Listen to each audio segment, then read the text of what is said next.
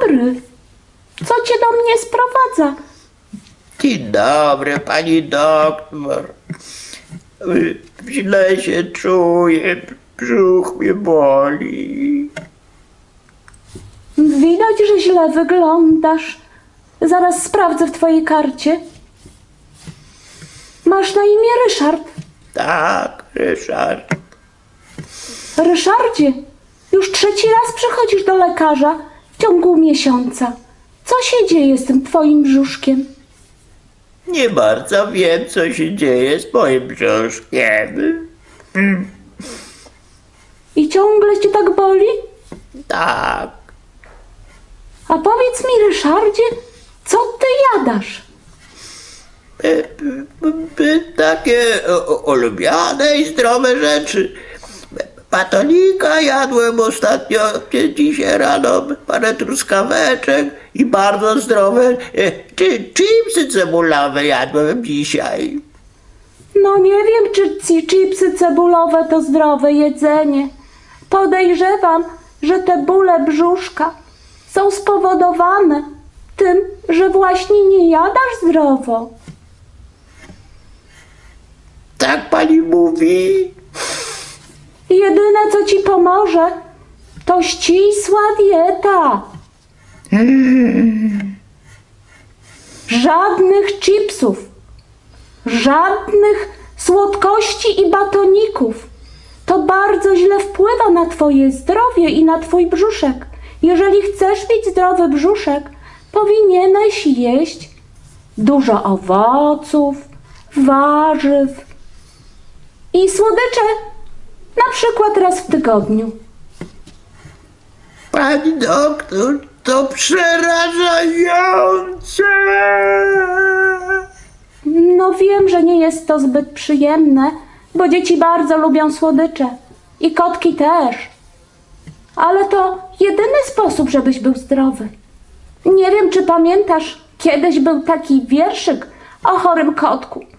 I chociaż czasy się zmieniły, tak naprawdę nie zmieniło się to, że jeżeli kotki źle się odżywiają, będą ich boleć brzuszki. Nie masz wyjścia, Ryszardzie. Tak, znam ten wierszyk. Nie chcę leżeć w łóżeczku. Niech będzie ta dieta, niech będzie. Warsztat dwunasty. Witam Was. To już dwunasty odcinek naszych spotkań e, z cyklu Jak zostać lalkowym czarodziejem. Dzisiaj poznaliście panią doktor i kotka. Scenka, którą widzieliście, była zainspirowana pewnym utworem literackim. E, Był to utwór Stanisława Jachowicza Chory kotek, ale była to tylko inspiracja. Utwór Jachowicza jest utworem starym. Już ma bardzo wiele lat i w tym utworze występuje wiele wyrazów, e, które są nieznane współczesnym ludziom, a tym bardziej dzieciom, które korzystają z innego języka, mówią innymi słowami. Na przykład takie słowa jak jadło, które oznacza jedzenie, basta, czyli że czegoś nie wolno, no już koniec, nie powinniśmy czegoś robić. E, Czy takie słowo jak dziwy? Dzisiaj mówi się po prostu, że coś jest y, dziwne, niesamowite. Nie używa się słowa dziwi. Dlatego postanowiłam wykorzystać temat z utworu Stanisława Jachowicza, natomiast przedstawić go w wersji współczesnej. W wierszu był pokazany kotek, e, który się przejadł i do którego do domu przyszedł również kotek, pan doktor. U mnie w scence zagrała pani doktor. Nazywam ją pani doktor Patrycja z tego względu, że znam pewną doktor, która ma na imię Patrycja e, i tak nazwałam moją lalkę. Oraz kot Ryszard, którego znacie już y, z wcześniejszej scenki mówiącego kota. Jedną pacynkę można wykorzystywać wiele razy do różnych przedstawień. Można pozostawić jej imię, natomiast tak jak w przypadku psa Wiktora, można zupełnie zmienić charakter pacynki e, i zupełnie zmienić jej wygląd, prawda? Na przykład przez dodanie zębów. E, W tej scence nie zmieniałam Ryszarda. Wyglądał jak zwykle. Natomiast miał pewien problem, e, który miał być rozwiązany przez panią doktor. Zmieniłam też trochę e, treść wiersza, e, ponieważ e, w oryginalnym wierszu pan doktor przychodzi do domu do kotka. W naszej scence to kotek przyszedł do lekarza. Przyszedł z pewnym problemem.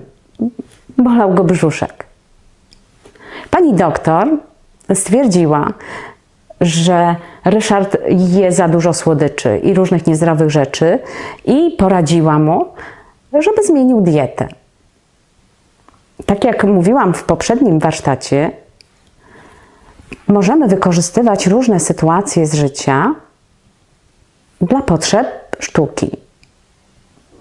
W poprzedniej scence, gdzie występowała małpa, był poruszony problem telefonu i tego, że nie zawsze ze sobą rozmawiamy, kiedy korzystamy z telefonów.